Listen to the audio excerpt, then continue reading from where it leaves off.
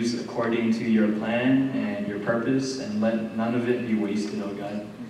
Um, let everything just be calculated well, and you know, just everything just thought out. Um, so God, please guide us in that. Um, also, Lord, help us to just use this money to bless others, whether that be other churches or members who might be in need, oh God, or or just anywhere that we can send this money, oh God. So please guide our leaders, guide our staff, guide our church, um, so that we can do it, whatever it is you have called us to do. God, as we continue in our service, Lord, may you just continue to open our hearts, our minds, and our ears. In your mighty name pray.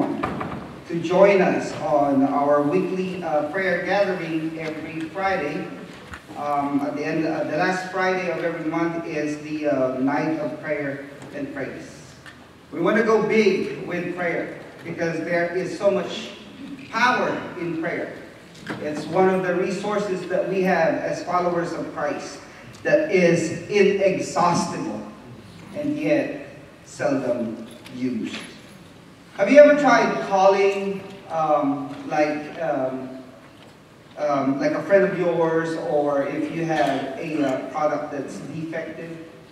Um, sometimes you would often hear uh, people pick up from the other line and say, how may I direct your call? Or this is the answering service for Dr. So-and-so right?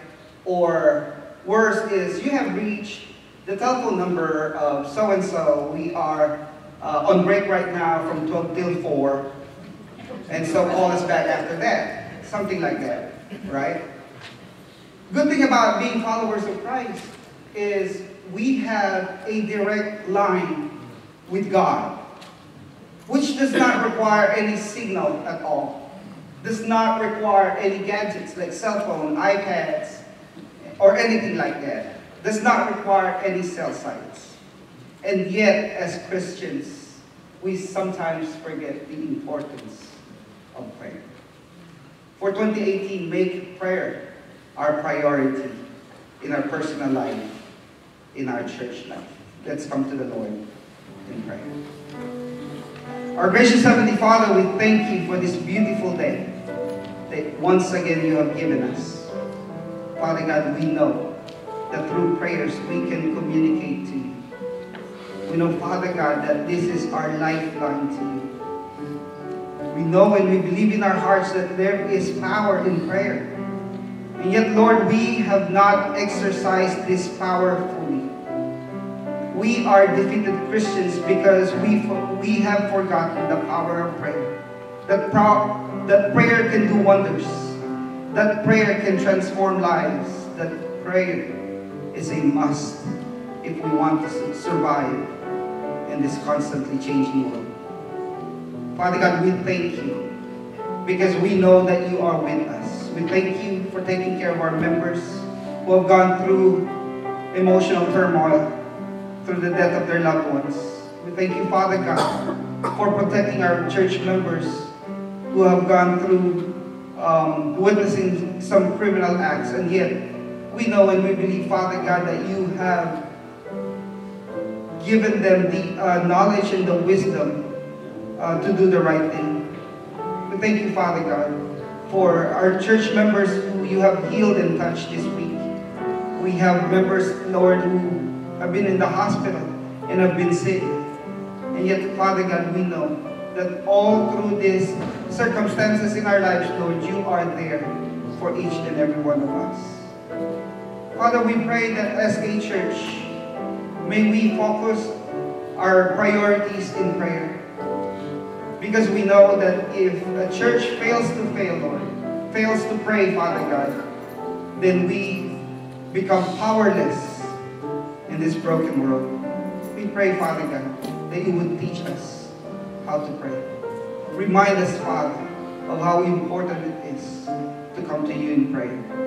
Father, as we hear your word this morning, we pray for a double portion of your anointing to your servant, Pastor James, as he preached your word today. More of you, Jesus. More of you, Holy Spirit. More of you, our loving Father. And let less of us. We worship you. We adore you. We welcome you in this place. In the name of the Father, and of the Son, and of the Holy Spirit, we pray. Amen.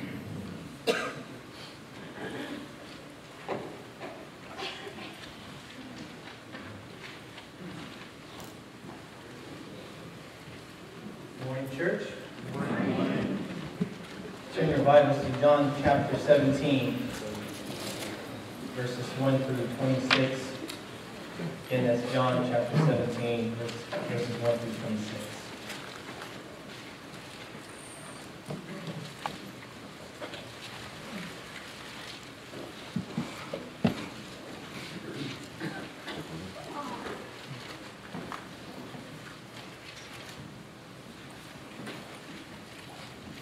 I'd like to read a prayer from a great person of faith in history. This is what it says. Lord, make me an instrument of your peace. Where there is hatred, let me sow love. Where there is injury, pardon. Where there is doubt, faith. Where there is despair, hope. Where there is darkness, light. Where there is sadness, joy. O divine Master, grant that I may not so much seek to be consoled as to console, to be understood as to understand, to be loved as to love. For it is in giving that we receive, it is in pardoning that we are pardoned, it is in dying that we are born to eternal life. This is the prayer of St. Francis. This morning we're going to continue our series with Go Disciple and Grow, focusing, focusing on disciple. And we have been learning um, for the last several weeks what is a disciple. We learned that a disciple is someone who serves and worships God. He or she is changed by the Holy Spirit and obeys Jesus' command to follow Him. We also learned what discipleship is. That discipleship is leading, teaching, modeling how to daily submit our lives to the presence of the empowering Lordship of Jesus Christ. We also learn about the importance of building relationship as a disciple of Jesus Christ. That building relationship involves not only sharing the gospel of Jesus Christ, but also our own lives. Last week we learned about listening to the Holy Spirit and that figuring out are you a disciple of Jesus Christ? Are you following him this morning? This morning we're going to talk about another important component of being a disciple. And it's also important in when you're discipling someone, this is key. This is a key practice that both your disciple and you will do, which is prayer. But as we think about prayer, what is prayer? And why did Jesus himself pray? He used God himself. Um, the main question that I want us to understand and really look to answer to this morning is why is prayer so important to a disciple of Jesus Christ? Why is prayer so important to your life here this morning, to your family's life? If you think about prayer, without the ability to pray to God, it's difficult for a Christian or a disciple, a follower of Christ, to really to hear his voice, to, to, to ask for help, to spend time in devotion with him. Again, if you haven't developed your prayer life as a Christian, then the truth is you're struggling here today. Or you've been struggling for many years. Because without a healthy prayer life, our faith weakens. And like Elder Lester said, without prayer, there's no power. I still remember my professor, Dr. Prosperly, and actually Dr. Prosperly preached here before. If you remember, her name is Lindo Prosperly. You guys remember him? He's an Indian um, missionary. He was my professor in seminary, and he would always share to us, well, before we talk about missions, he said, without prayer, there's no power. Without prayer, we have no ability to see where God is moving, where He's working. And really, it's impossible for us to build our relationship in God. It's impossible for us to build a relationship with our, men, our mentee who we're discipling if we're not developing our prayer life. Now, why is it important that we develop a deep prayer life? Well, because you need it. I need it. Again, without it, we're like a ship without a rudder. We're just going towards one task, one church to another church, or you know, go through highs and lows of our faith, and we're drained because we're trying to rely on our own strength, we're trying to rely on our own power, our own intelligence. Or maybe you're relying on the past miracles or the past spiritual highs that you experienced that God was present, but that's all you're relying on. And now you're just empty because you haven't developed a deeper prayer life with God. We need prayer because the truth is, if you're married here today, we're going to have marriage issues. Or maybe you have some now. If you're a young professional, you need prayer because you're going to look for direction for your future. Is this the right woman am I going to marry? Is this the right man? Is, do I need to buy a home? Do I need to live here? There. You need prayer to seek God's will, God's direction. As a church, we're going to need prayer because the truth is we're going to have some issues this year. Not that we're going to fall apart, no, but we're going to face disagreements with one another. We're going to face trials. We're going to face different storms in our leaderships, in our different community Bible study groups.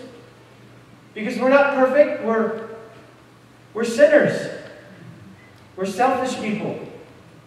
Instead of showing grace towards each other, we show judgment. And so we need prayer. We need prayer because I believe as we continue to join God's kingdom movement in our church and in your family's life, you will be persecuted for your faith. And you'd be surprised the people that will persecute you are your own family. Because your walk with God is totally opposite to what they desire, which is the world. Because they do not know of Christ. And so when you begin to follow God, whether you're in high school or whether you're retired now, you're going to need prayer because you're going to need strength to continue to obey God's word. You're going to need prayer to continue to be bold about sharing the gospel of Jesus Christ. And really, when we look at the example of Jesus, the model of what a true disciple of disciple is, who, who spent time in prayer, I believe he himself, though he was God, desired to build his relationship with the Father. Turn your Bibles with me to John chapter 17, verse 1 through 26. The book of John is written by Apostle John, John the beloved. It's one of the four Gospels. And in John chapter 17, Jesus, this chapter is mostly called Jesus' highly priestly prayer, where he begins to pray as he prepares to be betrayed, as he prepares to, to walk down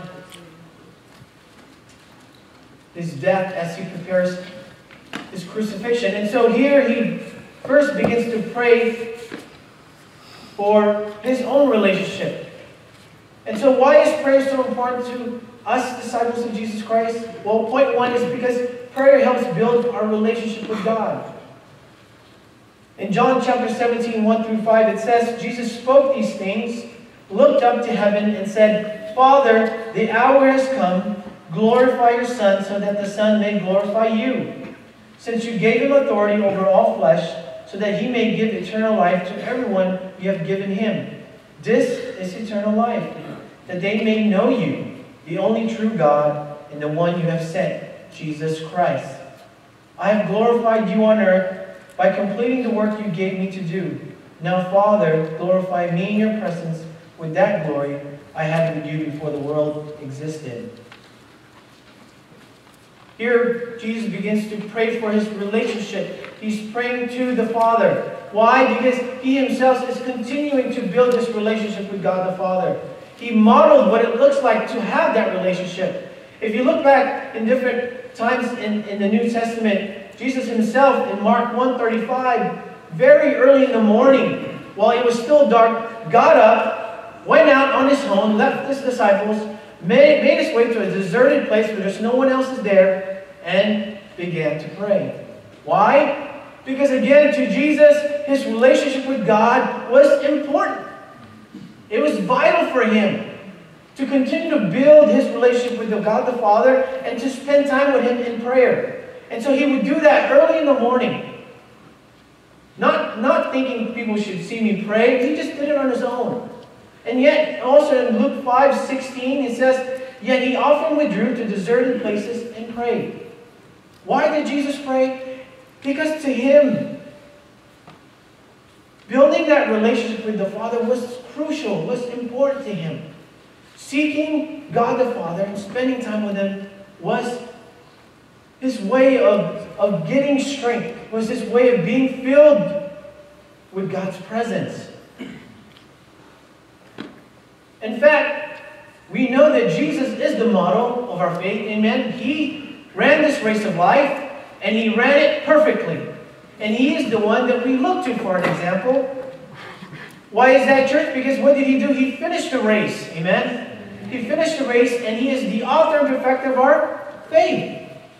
Again, as we look at verses 1 through 5, as you look at Jesus' prayer to the Father, it resonates this amazing relationship that he has with the Father. When he prays this, this prayer, he's not praying like he never he hasn't talked to God the Father in five years. No. He it's it's an intimate relationship. They know each other well. So much so that it's important for us to note that when Jesus prayed, twice he said this. What did he say in verse 1? Father, the hour has come. Glorify your Son so that the Son may glorify you. There's this aspect of his prayer life was first meant to glorify God.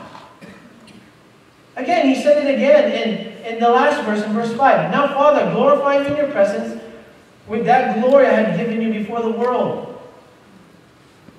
Because the beginning of this prayer, we will learn, as we have seen, that the foundation of prayer that Jesus began is to give glory to God.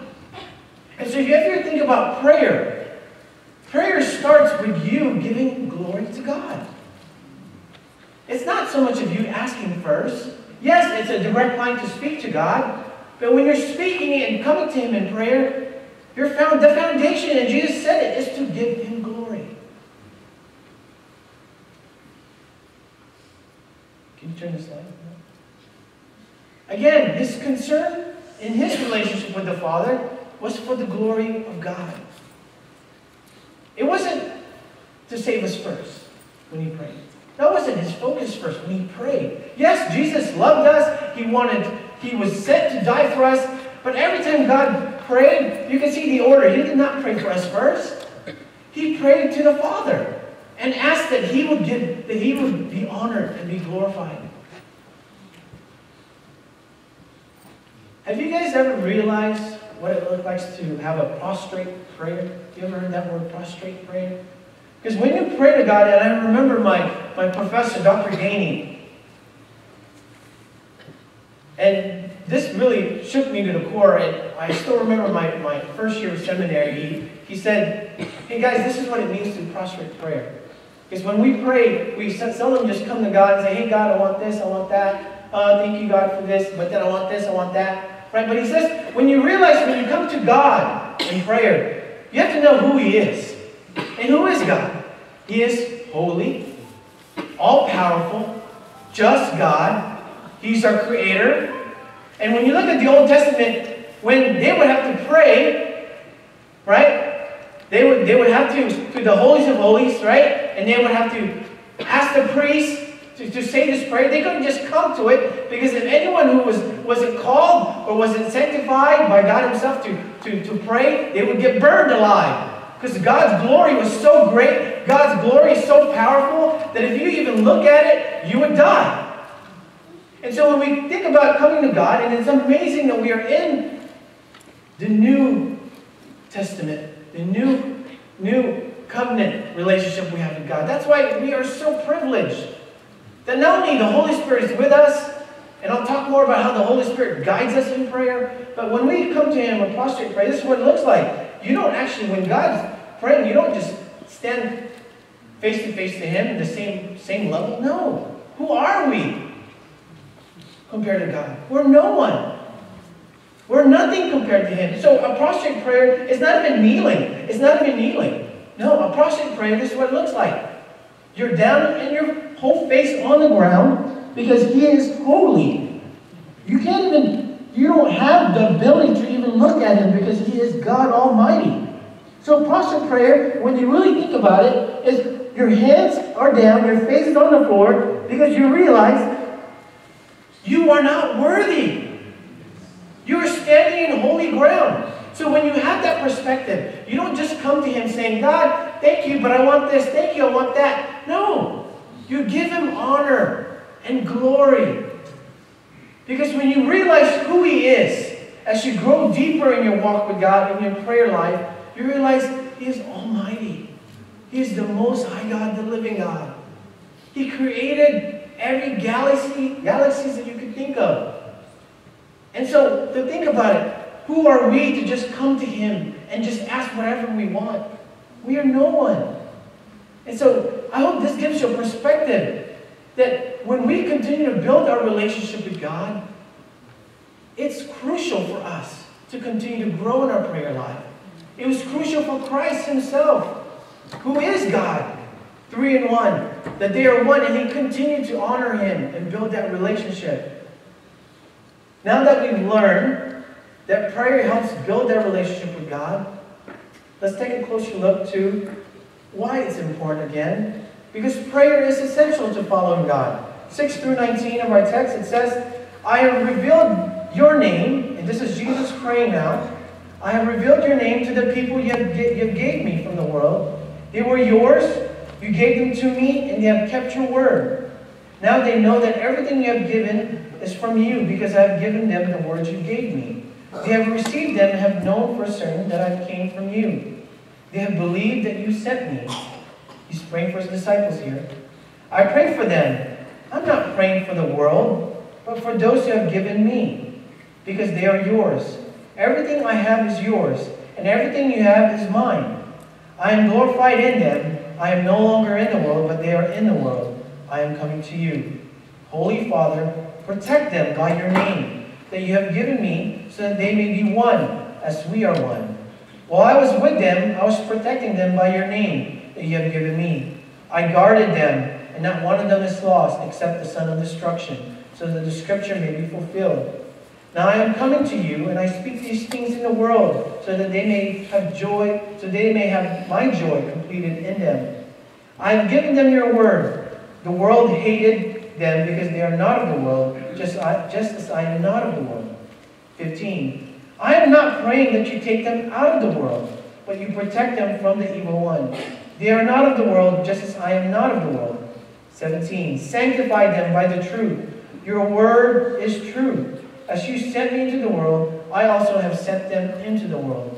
I sanctify myself for them, so that they also may be sanctified by the truth. An amazing prayer of Jesus Christ for his disciples.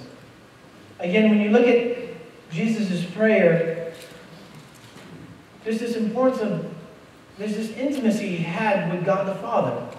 And there's this intimacy that you can see that he had with his disciples. That there was this always this, this, this process of building relationship. And so I want to stress that for all of us, that as followers of Christ, as disciples of Jesus Christ, we're continuing to build our relationship with God. And prayer is so key in that part of, pro- that part of the process. And so here Jesus prayed concerning his relationship to his believers. And again, he was praying for them that they may be, continue to be obedient to the faith, that they would continue to have the knowledge of God. Yet he did never, he never prayed for them for, for to be transported out of their, their culture. He never prayed for them to, to, to walk away from people who are evil, who would maybe persuade them from the faith. No, he prayed that, that they would be protected from the evil one, protection from the world. And he prayed for this unity among believers. You guys know that, that division, gossip is what divides us. It's really the, the, the seed that Satan plants in our, in our church, in our Bible study groups, in our relationship, that, that destroys the work of God. And it's really caused by our own selfishness. And, and so much so, Jesus even prayed for that, for unity, that they would be protected from the evil one. And, and he says that Jesus himself has given us the word, right, in verse 14, and that the word of God allows us, again, to continue to know who he is, but also his word allows us, like we have learned at, at, in our Bible study had last night at the Western Front, right, this, this importance of continuing to, to come together, right? As we come together, and, and, and one of the lessons last night was to continue to, to seek and ask for God's help, never faltering, never giving up. Because if God, if we who are sinful people would offer good gifts to our children, to our friends, how much more from our God who loves us, right? And then Jesus continues to say, Sanctify them in the truth. Why do we need to be sanctified in the truth as we continue to follow Christ? Because again, we are sinful people. We desire to, to have the flesh be fulfilled, to be, to be pleased, to be filled with that. And Jesus says, sanctify them in the truth. Your word is truth. This morning, as we think about the importance of prayer, are you praying every day? Are you spending time in prayer? And I'm not saying that you have to pray 10 times a day or this is the right routine. No. What I'm trying to say is just like you pumping your gas, you going to your grocery stores, you watching your favorite show that makes you happy throughout the week, you have a routine, amen? Don't you have a routine that, that you do every week? And those things are, are good. And to you, maybe those things are essential, right?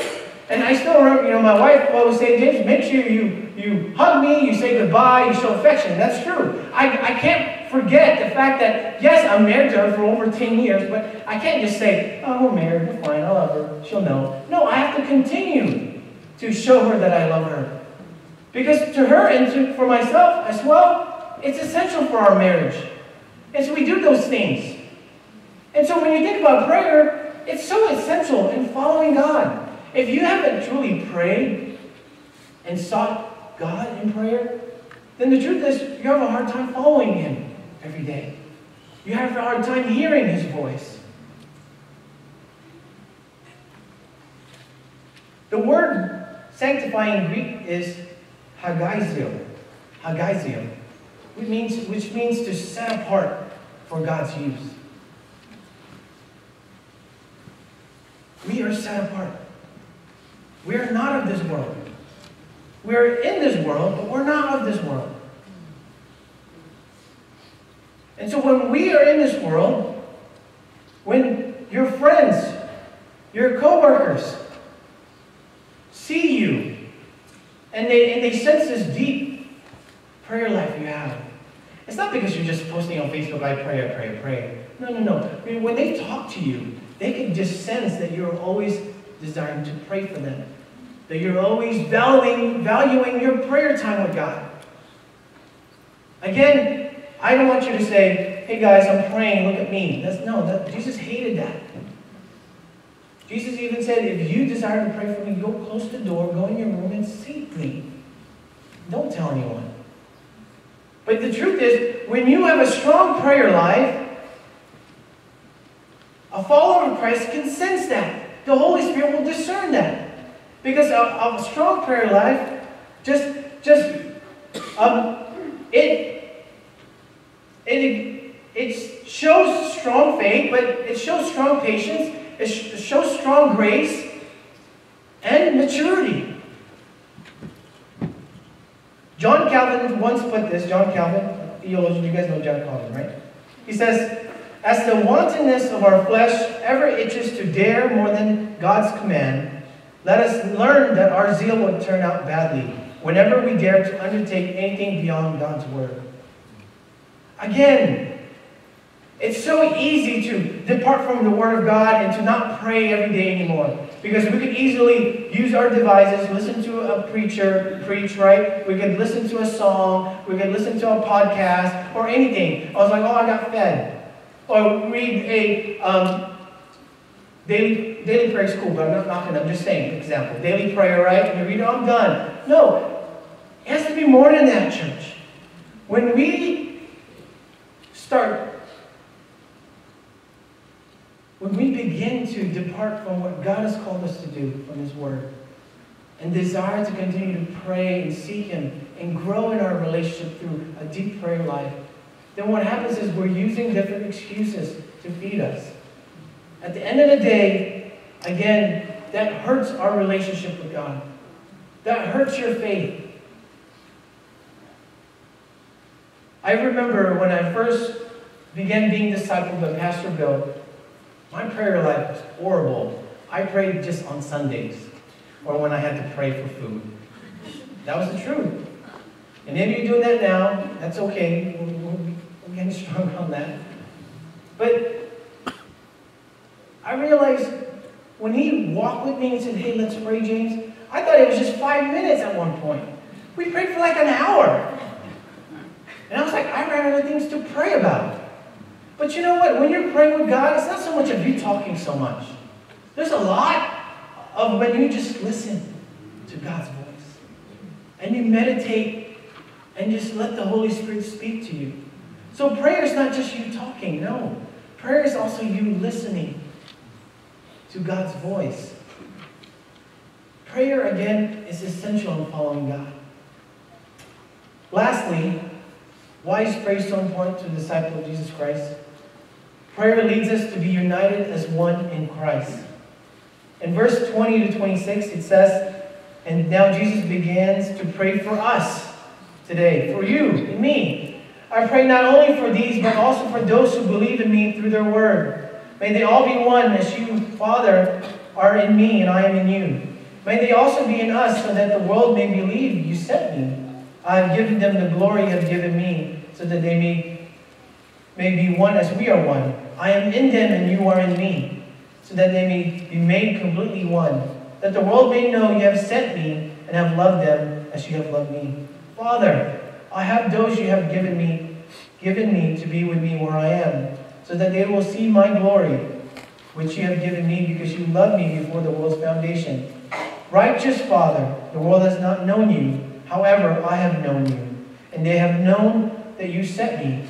I made your name known to them and will continue to make it known, so that the love you have loved me may be in them, and I be in you. Jesus here began praying for his concern for us here today, and for our relationship with the Father and each other. There's this importance of his prayer of unity, of being one in Christ and being one as we are one in Christ. Again, unity in the church is to be modeled after the unity of the triune God Father, the Holy Spirit, and the Son. As, as, as John shares this last part of Jesus' prayer, the heart of this final paragraph of this chapter is unity. Why? Because when we are united as one, it demonstrates God's redemptive work. You know how hard it is to be united? Very hard. You know how hard it is? And we just married Jerome's uh, daughter Lois and yesterday. I married them yesterday. Oh, I, I officiated their wedding. We married them, but you know what I mean. And you know, and I shared with them. You know how difficult it is for for a man and a woman to become one. Some of you guys who are married look at me like, yep, it's hard. It's hard." But when we, as a church, different cultural backgrounds, different walks of life, right? When we become one and united in Christ, that shows the expression of God's redemptive power and work. The gospel is revealed through our unity. Because we are selfless. We are graceful. We're forgiving people.